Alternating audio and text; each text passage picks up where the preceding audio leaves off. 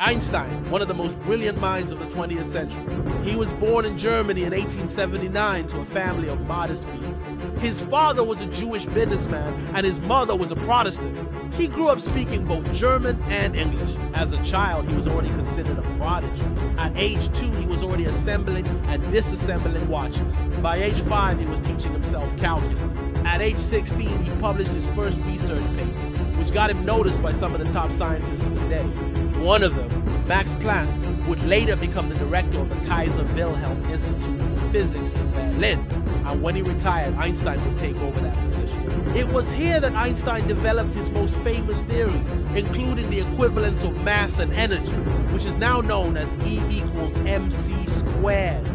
This equation has had a huge impact on our understanding of the universe. It's used in everything from nuclear physics to cosmology. After leaving Germany in 1933, Einstein would go on to publish over 300 scientific papers and would win the Nobel Prize in Physics in 1921. He died in 1955 at the age of 76.